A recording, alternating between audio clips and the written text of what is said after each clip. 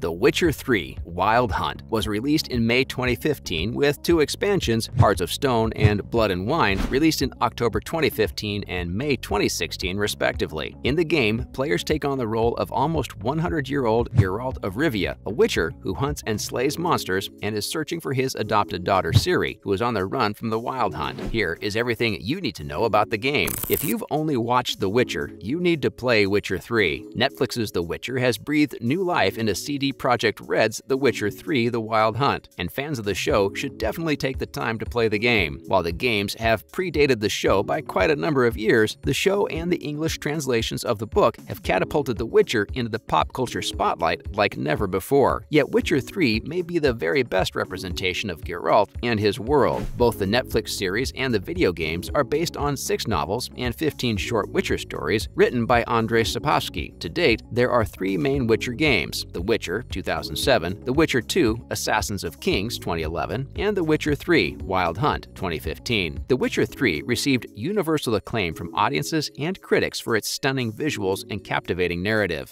Fans of Netflix's show, especially those who enjoy the lore, monsters, and characters, should definitely give Witcher 3 a try. Although Witcher 3 came out seven years ago, the graphics are still impressive, and the visuals are absolutely stunning. Players take on the role of Geralt of Rivia, taking on contracts to hunt down monsters searching for Ciri as she runs from the Wild Hunt, and as lovers of the game well know, playing a lot of Gwents. Why should you play Witcher 3? Well, it is a win for veterans and Netflix show newbies alike. Many of the beloved characters from Netflix's show are showcased in The Witcher 3, albeit a few years older. Players will recognize a more mature Ciri, Yennefer, and Vesemir. Players are also introduced to a plethora of new and interesting characters in The Witcher 3, like Zoltan Chivay, the dwarf, Regis the vampire, and Johnny the godling. These characters, and many more, add to the game's rich storytelling and environment. Although The Witcher 3 looks intimidating, it is a fantastic game for both the gaming veterans and those newer to open-world RPGs. There are four different levels of difficulty for the player to choose from right at the start of the game, which include Death March, very hard for those looking for an extreme challenge, Just the Story, very easy for those who are less interested in the gameplay mechanics, and several variations in between. The game also allows the player to change the difficulty at any point during the game via the options menu. At the start of the game, there is a tutorial to help new players learn how to run, climb, fight, and more, so even those with less gaming experience don't need to be intimidated. Overall, fans of Netflix's The Witcher will enjoy the exciting adventure in The Witcher 3. The game gives players a new look at some of the show's most famous characters and monsters and adds a whole new roster of new ones. Players will be immersed in a world where they fight monsters, help people, and make tough choices along the way, all of which can lead to one of multiple Witcher 3 character endings, with announcements of a fourth Witcher game in the works by CD Projekt Red and more seasons of The Witcher coming to Netflix, now is the best time for players to explore the world of The Witcher 3.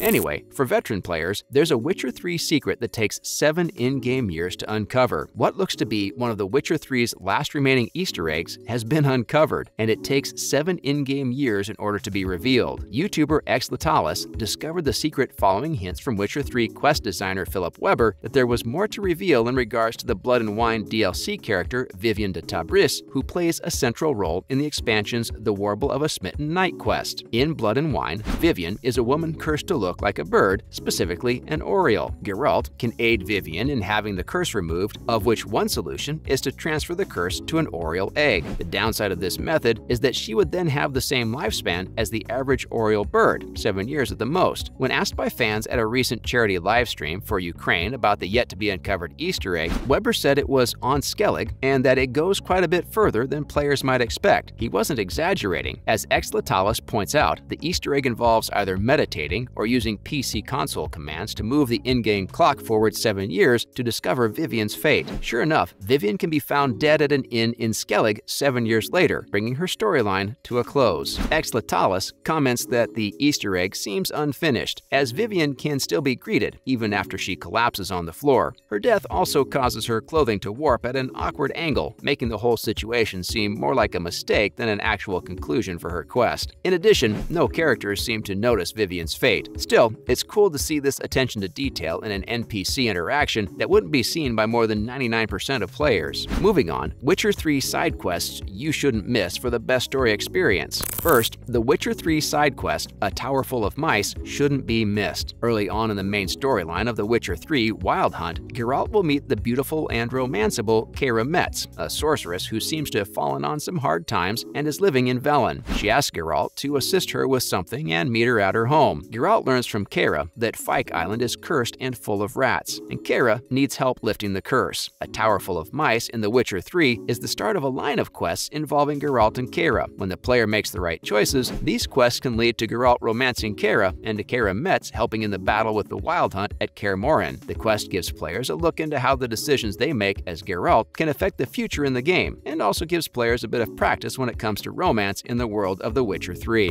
Next, The Witcher 3 side quest, The Last Wish, gives more depth to Yennefer. Speaking of romance in The Witcher 3 Wild Hunt, one of Geralt's possible romantic companions is Yennefer of Vengerberg. When Yennefer and Geralt first met, Geralt used a djinn to bind their fates together. Now Yennefer wants to find another djinn and reverse the effect of this wish to see if her relationship with Geralt is because of the djinn or not. Players looking to romance Yennefer in Witcher 3 definitely need to take on this quest, and even if they don't plan on romancing her, this still gives some insights into Geralt's past and his relationship with the sorceress. Players also get to see another side of Yennefer when she is with Geralt alone. The Last Wish is another side quest that shapes the future of the end game, but players should be warned, depending on their choices in this quest and another, Geralt's future could end up lonely. Moving on, The Witcher 3 side quest, The Cave of Dreams, reveals more about Geralt. The Cave of Dreams is a fun and insightful side quest in Witcher 3 that gives players a look into the mind of Geralt of Rivia and of other warriors of Skellige. It's a stunning, if somewhat creepy, quest that will leave players entranced. While the quest reward isn't anything incredible, the experience alone is worth the journey. When in Skellige, after the quest The King is Dead, Long Live the King, Geralt can encounter Blue Boy Lugos' ship near the mouth of a cave. After getting more information from Blue Boy himself, Geralt and three others set off into the Cave of Dreams, where men face their greatest fears, after of course ingesting some hallucinogenic herbs. After dispatching each man's greatest fear, the player gets to see Geralt's own biggest fear. Finally, the Witcher 3 side quest, Equine Phantoms, gives more time with Roach. For many Witcher 3 players, Roach, and the related Roach bugs and memes that come along with her, is one of the most loved characters in the game. Roach can appear at the player's side in an instant, even if she is oceans away, can get stuck in the smallest of obstacles, and often ends up on rooftops. Equine Phantoms gives players a chance to discuss these feats with Roach and hear her side of the story. When Geralt has drunk some suspicious tea, he discovers he and Roach can talk to one another, and Roach proceeds to help Geralt solve the mystery of a hermit being haunted by a demon. It is a lighthearted quest that shows the love between a horse and its master and answers some of the mysteries of Roach. That is all the time we had for today, guys. Make sure to subscribe to the channel for more great gaming news. Till next time, cheers!